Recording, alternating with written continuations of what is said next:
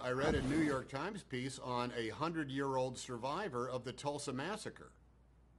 And my question was this What's the Tulsa Massacre?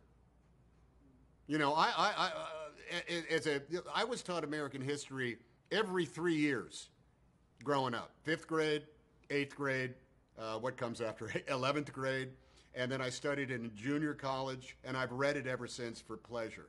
How is it that it wasn't until two years ago that I heard about the Tulsa Massacre?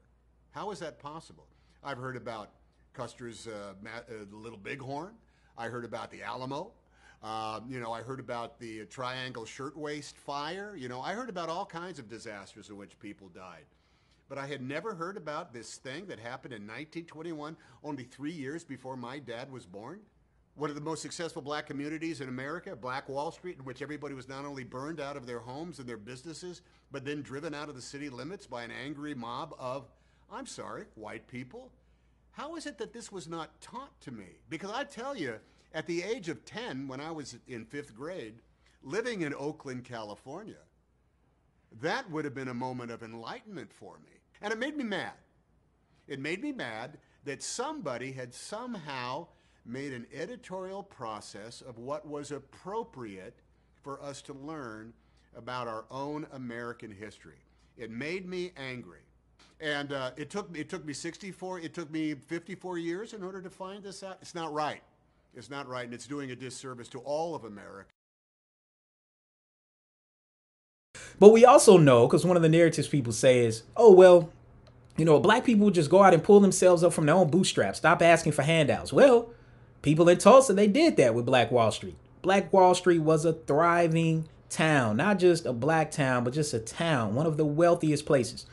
And of course, we know that almost in an instant, 300 people were killed, 35 blocks destroyed, all of those businesses, banks, homes destroyed. People fled and their land was taken over. And it's not just Tulsa. There are other black Wall Streets as well. East St. Louis, where up to 200 were killed, 6,000 ended up being homeless, 300 businesses destroyed. We could go to Rosewood, Florida, 150 deaths. As you can see, that was in the paper. Whites gathered for miles to slay Negroes. Last Negro homes razed in Rosewood, literally just wiping them out. And then, of course, we can even go to Detroit.